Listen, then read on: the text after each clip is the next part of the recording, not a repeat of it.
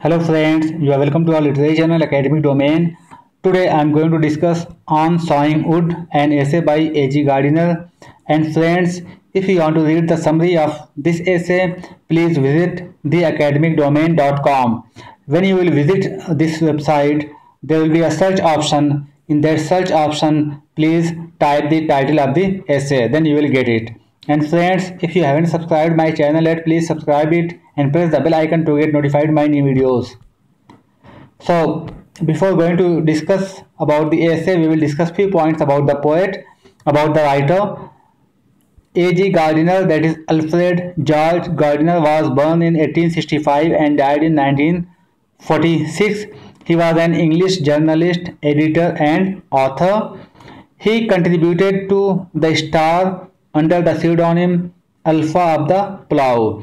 So the Star, it was a newspaper in England. So in that newspaper, he was writing under the name of Alpha of the Plough. It was the pen name or the nickname or the pseudonym of the writer for this paper, the Star.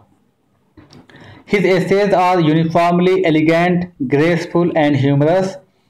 His, uni- his uniqueness lay in his ability to teach the basic truths of life in an essay and amusing manner. The collections Pillars of Society, Pebbles on the, on the Shore, Many Furrows, and Leaves in the Wind are some of his best known writings. So he has many more collections of essays, but I have mentioned only four here 1, 2, 3, and 4. Now coming to the essay. So actually on sawing wood, sawing means cutting with a file. So here the poet talks about cutting a wood with a file that when he was going to cut that particular wood then what happened and then he becomes very philosophic let's uh, talk about the essay now in this essay the writer says he should we should not spend our whole energy while performing any task. So the writer wants to say that if we are doing any task if we are doing any work so all of a sudden we should not you know um, spend all our energy. We should not give all our energy. We should have something in store we should have our energy in store more than we display. So whatever we display our energy while doing that particular task while performing that particular task more than that we should have our energy stored in our body. Most important thing is that we should have patience and control over our emotions to perform any act. So when we are performing any act we should have uh, patience and we should have control over our emotions. So most of the time we are losing the things or most of the time we are defeated because we don't have patience we don't have control our emotions. So to do any work uh, properly we should have patience and we should have control over our uh, emotions. He shares his experience of sawing wood in his home in his barn and says he was failure because of his misdirected energy. So he is as the title of the essay on sawing wood so he is sharing his own experience that once when there was a raining he thought to saw wood uh, which was in his barn. So but he was fail in that. He couldn't uh, you know cut it properly why? Because he was his energy was misdirected. His energy was misdirected. It means that he wanted to cut uh, the uh, that wood uh, you know all of a sudden on the spot at a time. And that's why he couldn't do that. He was failure in that task. Now the way he started it seemed he would saw the wood at one stroke. As i told you that you know the way he started he became very impatient and he thought to finish it uh, you know as soon as possible and at one stroke so he wanted to cut it. That's why he couldn't cut it and he was failure in that. Humorously he says he committed the mistake the romanians have made in transylvania so Romania is a country and the people of that country are known as Romanians. and Transylvania is a place in Romania. So the poet, uh, so because of one mistake, because of some mistake of Romanians, there was a massacre in Transylvania. In that massacre, almost 14 to 15,000 people were massacred. They were, uh, you know, that uh, murdered.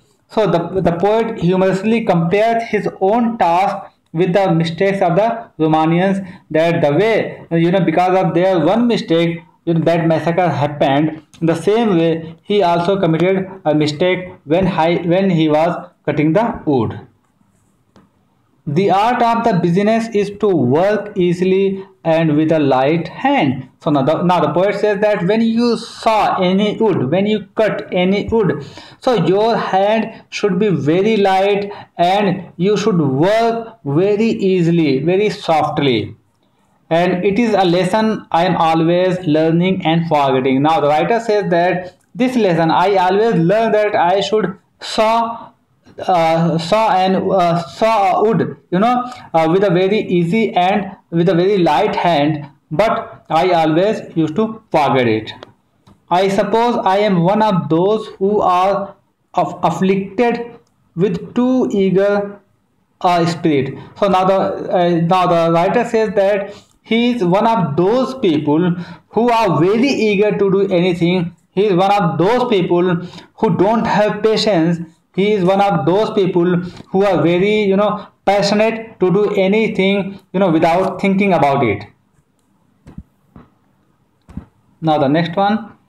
We rush at task with all our might. So the uh, the writer says here that we rush you know at the task. So we are trying to finish the task you know with our whole power with our whole energy. We want to give our whole energy to the task and expect it to surrender on the spot. And we expect that that task should be finished on the spot. That that task uh, task should be finished on the at the same time.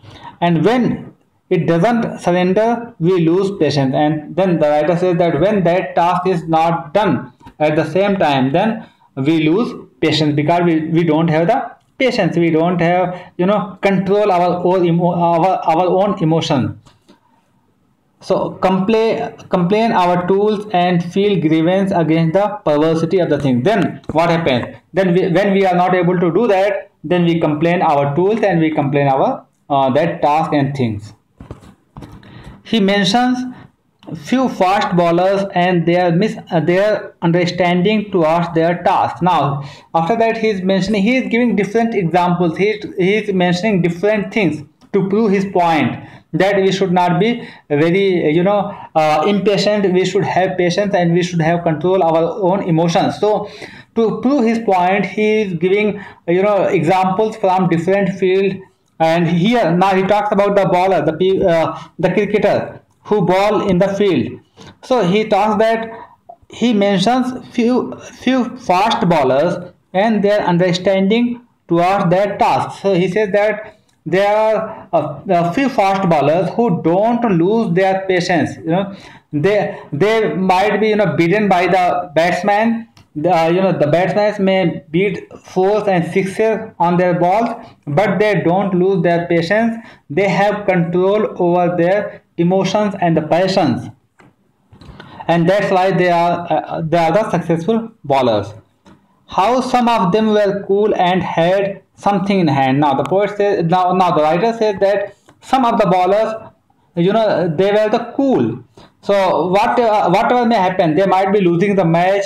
You know, uh, the the batsman might you know might be hitting the sixes and fours on their balls, but they are not losing their temper. They have control over their you know uh, passion and uh, they have the energy in hand. Something in hand means they have they don't you know spend all their energy while bowling but they have energy in their hand in their body.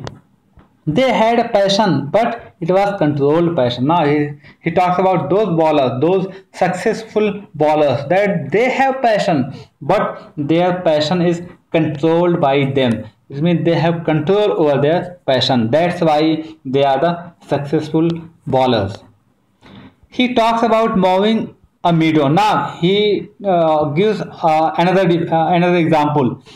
He talks about mowing a meadow. Mowing a meadow means that cutting a, cutting the grass in the meadow, and gives examples of John Ruddle. And now he gives the example of John Ruddle that how you know efficiently, how you know that uh, easily he is working his uh, he is working his task. So he is not losing patience and he is not spending much energy to do his task. So that's why he can you know uh, cut the grass continuously for three hours for four hours without you know uh, without being tired he cuts grass so rhythmically that you feel sleepy like mothers sleep while pruning. So he cuts grass so systematically, so rhythmically, so poetically that when you will see him, you will feel sleepy. As the mother, you know, the mother used to feel sleepy when she is uh, singing the song for his, uh, for her child, for her kid. He is a master in technique. Now he uh, he's, he's talking about that john Ruddle that he's master in his technique. Whatever the work he is doing he has a, you know he has a lot of experience in that. But what is most important thing the most important thing is that his economy of effort he is not giving much effort in his task. So he is you know uh, holding his energy in him. But his economy of effort and patience with the task make it easy for him. And he has he had the patience with the task. So whatever he is doing he is not giving his whole energy in that. And he has patience. He is not very passionate towards his task. Because of that he can do it easily without getting tired. Now he talks about golf. Now he gives example from uh, another game that is golf to win the match, it is necessary to be reasonable and sensible rather smiting hard at ball. Now he says that when you are playing a golf, uh, so it is necessary that you should be you know reasonable and sensible. You should not you know smite, you should not strike hard at the ball, but you should be reasonable and you should be sensible so that you can win it easily. When you lose your patience, when you become passionate, then at that time you lose your game. This formula is applied everywhere. Now he says that this formula, formula of being, you know, patient, formula of, you know, having control over our own emotions, it, it is applied everywhere. You may be in any field. If you have control over, uh, over your emotions, if you have patience, then you will be the winner. So the man who wins is the man who keeps cool and gives the impression that there is more in him than ever comes out. So the writer says here that you know the man who wins, the man who who wins, he is giving an impression that there is more in him than ever comes out. It means that he has more energy inside and that you know than he displays so it means that he is a cool person. The person who is who is a winner is always a cool person, is always a patient man, is always has control over his own emotions. Many people lose argument because their eagerness and because of their eagerness and impatience. Now he talks about some people who are debaters. So most of the people lose their debates. Most of the people lose their arguments only because of being you know eager and impatient. They are very eager they are very you know impatient. They don't have control over their emotions. They don't have control over their passions. That's why they are losing the argument. That's why they are losing the debates